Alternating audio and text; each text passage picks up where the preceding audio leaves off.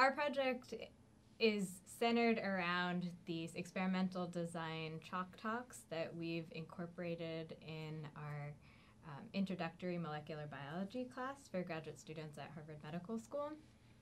And we've looked at the effect of these chalk talks in a few different ways, um, both looking at video recordings of students in their first and second times doing these chalk talks during the course, as well as um, written answers to experimental design questions throughout the course. We've also been looking at and thinking about how um, this affects students' confidence or self efficacy with the skills of science communication and experimental design and how that changes from the beginning and to the end of the semester.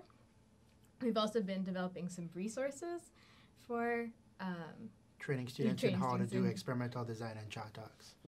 So a chalk talk is literally talking with chalk. Um, and so what it is, it's very different from a type of presentation that we see a lot with our trainees, is that we do a good job of teaching presentations using PowerPoint in the background.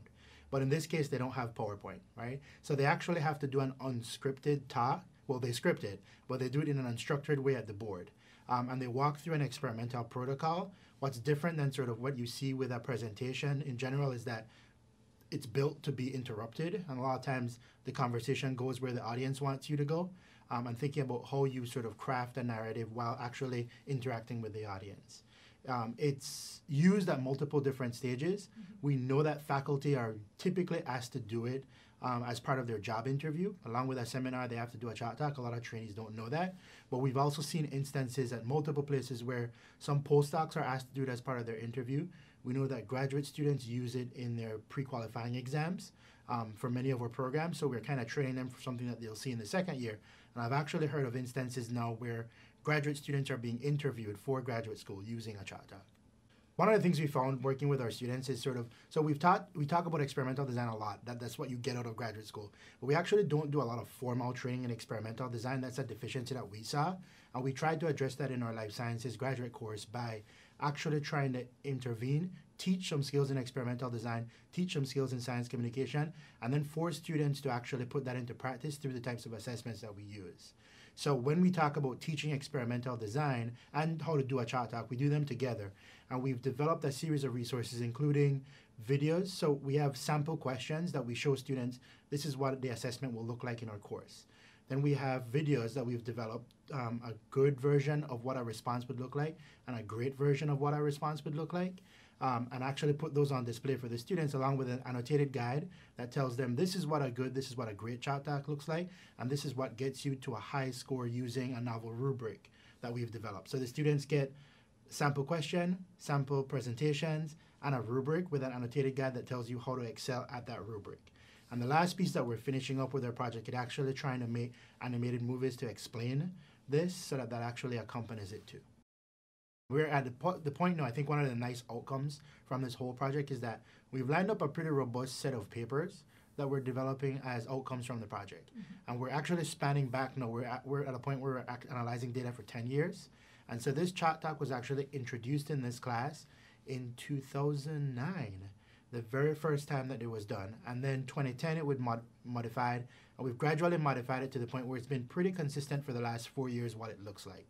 But the idea was simply we had a standard molecular biology class. The person who was very involved at the time was Johanna Gutlerner. She was a curriculum fellow in the course. She preceded me as the curriculum fellow, and I preceded Madhvi as the curriculum fellow. Um, she thought we should find a way, working with the faculty, the faculty in the class also, um, to make the class more interactive and actually to focus on skills, which at the time was sort of an out there idea for his life sciences graduate education, right? Everybody said you come to graduate school to learn all the mechanisms and the details, and they were talking about trying to introduce skills. Flash forward to fast forward 10 years now, um, that's what everybody's talking about in grad ed, that we need to focus on skills and it's not just an undergraduate thing. So it's taken on a life, um, I think, a value in that respect. So we worked it into the course as an assessment, and I think the, the driving force behind it was watching the student feedback on the course evaluations, which told us that students liked it, and what we learned was to use the feedback in a way to continuously address the problems they had with the assessment to the point where it's consistently been one of the strongest positives in the class. One of the outcomes from our project is all the data analysis we've done on course evals consistently positive. Um, and another thing that we've seen is when we ask students years after they've left the class, what was the lasting learning outcome from the course? It's actually the exercise and being able to apply that skill in multiple different settings. Really enjoyed working with the students, and I think um, for me, it wasn't, they weren't just workers, they were also collaborators in the project, and I think it was really important to involve them in that way.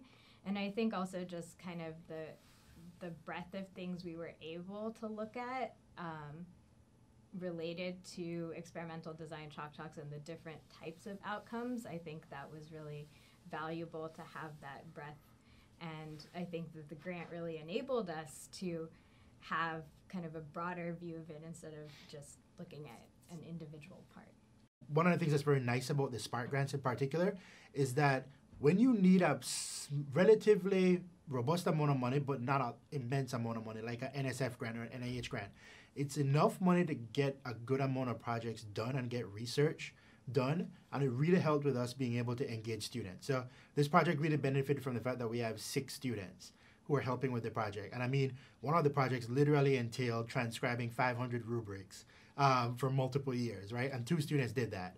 And so that type of work is not something that it's really easy to justify for a big grant, but it's a starting point to actually get the work done.